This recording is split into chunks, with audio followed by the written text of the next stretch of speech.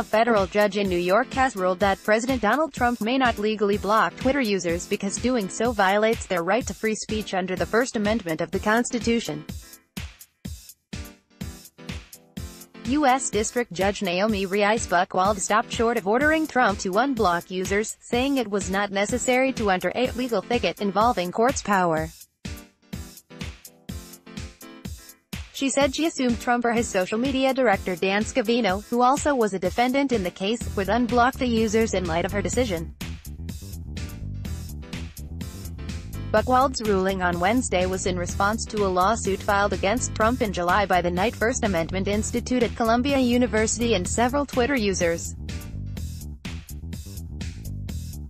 Twitter declined to comment on the ruling while the White House and the U.S. Department of Justice, which represents the president in the case, did not immediately comment. Trump was a prolific tweeter from his at Real Donald Trump account even before being elected in 2016 and has since made it an integral and controversial part of his presidency. Aides reportedly have tried to rein in his tweeting, which often starts early in the morning. But he has remained unfettered and uses Twitter to promote his agenda, announce policy and attack critics, especially the media, and the investigation into possible Russian connections with his campaign. The plaintiffs claimed in their lawsuit that by blocking users for their views, Trump was shutting them out of discussion in a public forum, violating the First Amendment. When one Twitter user blocks another, the blocked user may not respond to the blocker's tweets on the social media platform.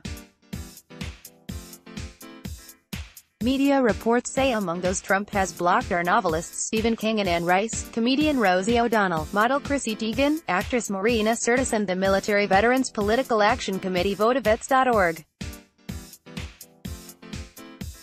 The individual plaintiffs in the lawsuit include Philip Cohen, a sociology professor at the University of Maryland, Holly Figueroa, described in the complaint as a political organizer and songwriter in Washington state, and Brandon Neely, a Texas police officer.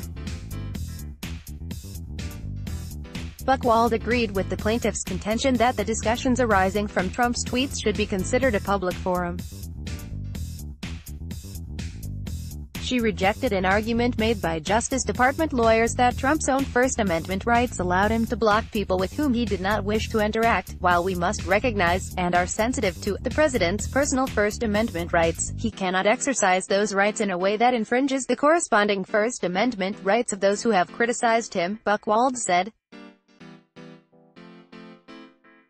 Buchwald said Trump could mute users, meaning he would not see their tweets while they could still respond to his, without violating their free speech rights.